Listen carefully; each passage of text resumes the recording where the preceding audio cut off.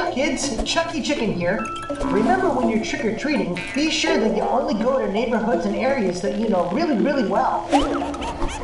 Near Emma,